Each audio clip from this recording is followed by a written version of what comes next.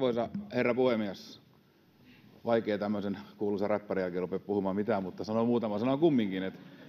Minun mielestäni pääministerin vaihdos ei tuonut mitään uutta, valitettavasti. Kansaan eivät uppoa kliseet ja kaunopuheet, ja hallituksen todelliset toimet ovat jotain aivan muuta. Te saitte todella hienon mahdollisuuden muuttaa hallitusohjelmaa, mutta te ette tehneet siihen mitään muutoksia. Ette ottaneet mukaan vaalien toiseksi ja kolmanneksi suurimpia puolueita. Tätä pidän äärimmäisen nolona demokratian kannalta. Arvoisa herra puhemies! Hallitus on onneksi muistanut opiskelijoita ja työttömiä. Ensi vuodesta esimerkiksi korkeakoulut saavat useita miljoonia, mitä minä pidän äärimmäisen hyvänä asiana. Pitää muistaa, että osaaminen ja koulutus on Suomessa tavaramerkki maailmalle. Työttömien aktiivinen leikkuri poistetaan, sekin on hyvä asia. Toimenpide on kohdistunut kaikkiin köyhimpiin ihmisiin pahimmalla mahdollisella tavalla. Myös poliisi saa kaipaamansa lisävaroja, mutta mielestäni liian vähän. Toivon totisesti, että hallitus kohdistaa nämä vähäiset lisäresurssit oikein. Kentällä, varsinkin syrjäseudulla, on huutava pula poliiseista. Sinne minä toivon, että resurssit kohdentuvat. Arvoisa puhemies! Vaikka jotain hyvää porkkanaa onkin tarjolla, miinuslista on sitäkin lohduttomampi. Esimerkiksi polttoaineveroja korotetaan. Miksi näin? Korotukset ovat ristiriidassa maaseudun asuttamisessa, elinkeinon harjoittamisessa ja yritystoiminnassa. Ne kohdistuvat ihmisiin, joilla on pitkä työ- ja ostosmatkoja. Ajetaanko nämä ihmiset pois kodeistaan? Maaseudun tulevaisuus on turvattava. Suomen on oltava omavarainen mahdollisten kriisitilanteiden sattuessa. Arvoisa puhemies! Valtiontalouden kahden miljardin lisävelanotto on edesvastuutonta politiikkaa.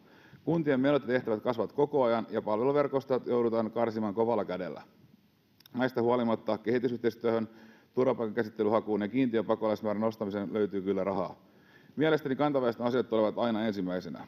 Arvoisa puhemies! Työllisyystavoite 75 pinnaa ei tule toteutumaan hallituksen toiveiden mukaisesti, kun talouskasvuennuste pysähtyy ja työllisyystoimenpiteet ovat täysin riittämättömiä. Ihmisten pitää pystyä tulemaan toimeen välttämättömistä kuluistaan jokapäiväisessä elämässään. Pitkäaikaistyöttömiä on meillä aivan liikaa. Ettekö te, arvoisa hallitus, ymmärrä, että näillä esityksillä ollaan menossa vippiluokassa kohti konkurssia? Panostukset koulutukseen ja muut ovat tietysti tärkeitä, mutta se kuuluisa tulopuoli ontuu ja vahvasti. Mitä hyötyä on panostaa koulutukseen, kun lapsemme ja lapsenlapsemme joutuvat maksamaan kaiken tämän holtittoman velanoton? Menoja ei yksinkertaisesti voi lyödä lukkoon ennen kuin on niitä tuloja. Teette todellisen hattu- tai kypärätempun, mutta valitettavasti negatiivisessa muodossa. Te korotatte veroja, heikennätte valtion tasetta eli menette myymään valtion omaisuutta, ja jotta kuuluisa hattutemppu olisi täydellinen, te vielä velkaannutatte rakasta isänmaatamme kahdella miljardilla ensi vuonna, kuten aiemmin mainitsin.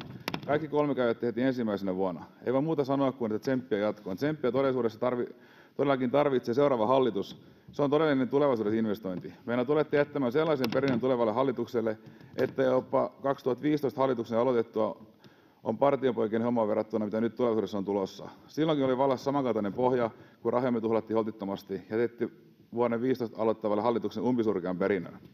Sitten mä tahdon myös puuttua tähän kuka muu mukaan hommaan.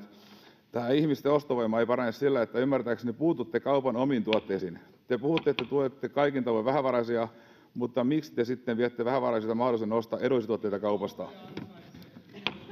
Niin ansaitsevat. Tässä voidaan puhua lisää kohta. Kiitos, puhemies. Kiitoksia. — Edustaja Piirainen.